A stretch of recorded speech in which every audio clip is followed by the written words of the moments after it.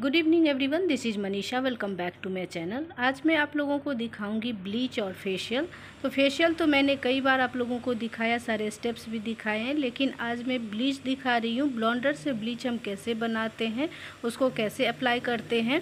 तो ब्लीच बनाने के लिए मैंने यहाँ पे लिया है ब्लॉन्डर पाउडर और इसे एक बोल में डाल दिया और इसे मिक्स करने के लिए मैंने लिया है ट्वेंटी वॉल्यूम का डेवलपर साथ में लिया है थोड़ा सा फेस पैक। आपके पास कोई मॉइस्चराइज़र हो, फेस पैक हो या मसाज क्रीम हो तो किसी भी चीज़ को आप मिक्स कर सकते हैं, क्योंकि ये वाली ब्लीच हार्ड होती है, बालों के ऊपर करते हैं तो इसको थोड़ा सा माइल्ड बनाने के लिए इसमें कोई भी क्रीम मिक्स कर देते हैं या फेस पैक मिक्स कर देते हैं। सबसे पहले यहाँ पे फेस को क्लीन कर देती हूँ, उसके बाद ब्लीच अप्लाई करूँगी और बाद में फेशियल भी करने वाली हूँ, ग्लो फेशियल लोटस का। ब्लीच बनाने के लिए ब्लॉन्डर पाउडर थोड़ा सा लेना है और इसमें ट्वेंटी वॉल्यूम जो मिक्स करने के लिए लेंगे, वो भी इतना लेंगे कि अच्छे से दोनों मिक्स होकर क्रीम लाइक कंसिस्टेंसी हो जाए, बहुत ज़्यादा नहीं लेना है। अगर हम हाथों या पैरों पे कर रहे हैं तो थोड़ा सा ज़्यादा ले सकते हैं, लेकिन फेस के ऊपर थोड़ी सी सावधानी रखनी पड़ेगी क्योंकि ये ब्लीच हार्ड होती है।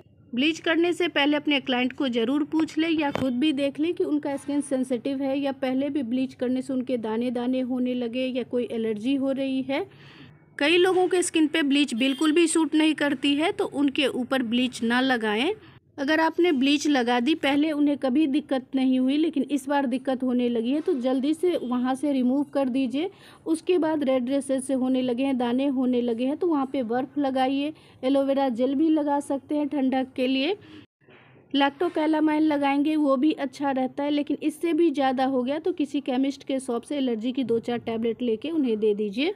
दस मिनट तक मैंने ब्लीच को फेस के ऊपर रखा, उसके बाद क्लीन कर दिया और आप देख सकते हैं कि काफ़ी अच्छा रिज़ल्ट आया है। अब मैं इनका फेशियल भी करने जा रही हूँ, लेकिन आप चाहें तो सिर्फ़ ब्लीच करके भी छोड़ सकते हैं। फेस को मैंने ब्लीच लगाने से पहले क्लीन कर दिया था, अब स्क्रब कर रही हूँ स्क्रब चार से पाँच मिनट तक करूँगी।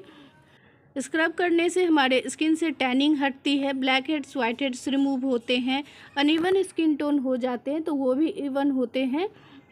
आज मैं लोटस का ग्लो फेशियल कर रही हूँ तो इसमें फोर स्टेप्स हैं, क्लिंजर है, स्क्रब है, क्रीम है, जिससे मसाज करते हैं और फेस पैक है। लेकिन स्क्रब बहुत ही अच्छा है, ना ज़्यादा हार्ड है, ना ज़्यादा माइल्ड है। चार मिनट तक मैंने सर्कुलर मोशन में मसाज किया, अब स्क्रब को क्लीन कर रही हूँ। इसके बाद मैं मसाज स्टार्ट करूँगी। मसाज के स्टेप्स तो मैंने कई बार आप लोगों के साथ शेयर किए हैं तो आज वीडियो को थोड़ा सा फास्ट रखूँगी, क्योंकि आपको भी ना लगे कि बार बार एक ही चीज़ दिखा रहे हैं।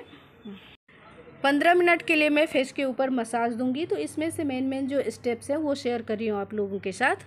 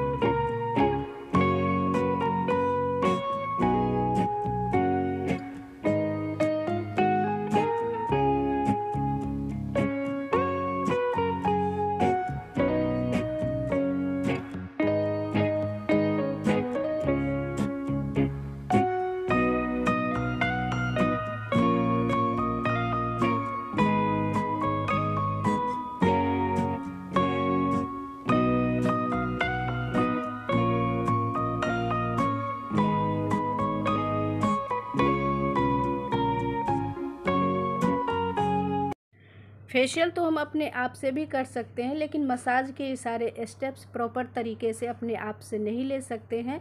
अपने आप से जब हम फेशियल करते हैं तो हमारा ध्यान काम करने के ऊपर रहता है रिलैक्स बिल्कुल भी नहीं हो पाते हैं। आजकल की भाग दौड़ बड़ी ज़िंदगी में हम सभी को मंथली एक फेशियल किसी प्रोफेशनल से ज़रूर लेना चाहिए। इससे हम स्ट्रेस फ्री होते हैं ब्लड सर्कुलेशन इम्प्रूव होता है रिंकल्स फाइन लाइंस कम आते हैं स्किन पे लाइट बनी रहती है शाइन बनी रहती है। एजिंग की वजह से हमारी स्किन सैग होने लगती है, डल पड़ जाती है, आँखों के नीचे गड्ढे से होने लगते हैं। तो ये तो कोई नहीं कह सकता कि हम समय को रोक देंगे, लेकिन हाँ अगर हम प्रॉपर फेशियल लेते हैं तो हम लंबे समय तक अपने स्किन को यूथफुल रख सकते हैं।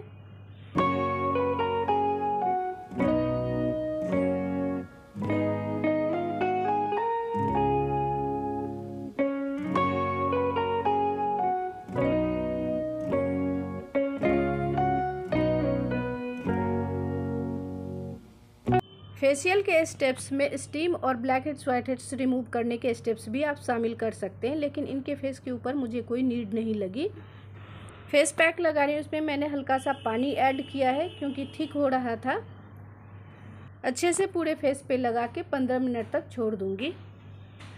कई फेस पैक ऐसे होते हैं जो जल्दी से सूखते नहीं हैं, उनकी थिक लेयर लगाई जाती है तो उसे आप टाइम से लगा के और रिमूव कर देंगे। इसकी तो मैंने बहुत पतली सी लेयर लगाई है तो जैसे ही सेमी ड्राई होगा तो मैं इसको पानी के सहारे मसाज करके निकाल दूँगी।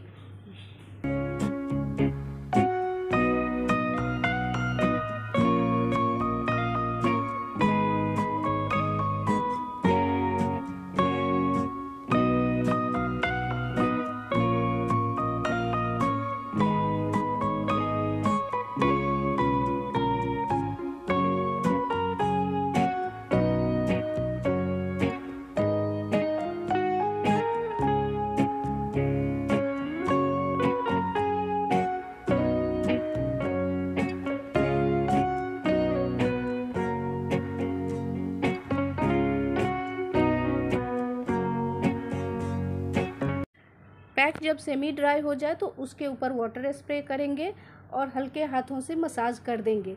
फिर टिश्यू से या हैंकी से इस तरह से रिमूव करेंगे तो बहुत ही अच्छे से क्लीन हो जाता है। बार बार स्किन के ऊपर रगर बिल्कुल भी नहीं लगती है। अब मैं सनस्क्रीन लगा के फेशियल को कंप्लीट करूँगी। तो आज की वीडियो आप लोगों को कैसी लगी? अगर अच्छी लगी हो तो प्लीज़ लाइक कीजिएगा सब्सक्राइब कीजिए मेरे चैनल को और ज़्यादा से ज़्यादा शेयर कीजिए। फेशियल और ब्लीच करने के अपने अपने तरीके होते हैं, लेकिन बेसिक चीज़ें एक ही होती है स्टेप्स हम अलग अलग करते हैं। टाइम भी सबको एक जैसा ही लगता है, दस से पंद्रह मिनट लगते हैं ब्लीच करने में और फोर्टी फाइव मिनट से लेके वन आवर तक लगता है फेशियल करने में। आजकल हर एक फेशियल किट में भी अलग अलग स्टेप्स होते हैं। तो ज़्यादा स्टेप्स देख के घबराने की ज़रूरत नहीं है। किसी में सिरम डाल देते हैं टोनर डाल देते हैं फेशियल ऑयल डाल देते हैं। पैक के ऊपर सारे इंस्ट्रक्शंस लिखे होते हैं कि इस तरह से करना है। तो बहुत जल्द मिलते हैं आप लोगों से नेक्स्ट वीडियो में, तब तक के लिए अपना ख्याल रखिए बाबा